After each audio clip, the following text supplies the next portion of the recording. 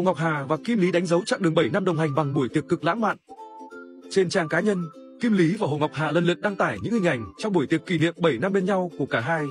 Trong ngày đặc biệt, Hồ Ngọc Hà diện chiếc váy màu kem khoe nhan sắc quyến rũ, còn Kim Lý chọn bộ siêu lịch lãm với vi-rùa phong độ. Bên cạnh đó, nhiều người còn không quên trầm trồ trước khung cảnh lãng mạn trong buổi tiệc. Theo đó, buổi tiệc được tổ chức ở một địa điểm có view hướng thẳng ra sông Sài Gòn.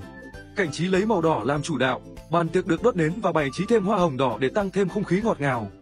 Khoảnh khắc Hồ Ngọc Hà và Kim Lý tình tứ giữa lúc pháo hoa được đốt sáng khiến dân mạng cũng rung động theo. Nhân dịp 7 năm bên nhau, Hồ Ngọc Hà và Kim Lý trao nhau những nhắn nhủ ngọt ngào. Cụ thể, nam diễn viên viết kỷ niệm ngày bên nhau với em yêu. Em và các con là cả thế giới của anh. Đã 7 năm kể từ khi chúng ta đóng chung trong cả một trời thương nhớ, một hành trình thật hạnh phúc và sẽ còn kéo dài. Yêu em. Đáp lại, Hồ Ngọc Hà viết 7 năm rồi. Đúng nghĩa một người bạn đời, vui cười mỗi ngày.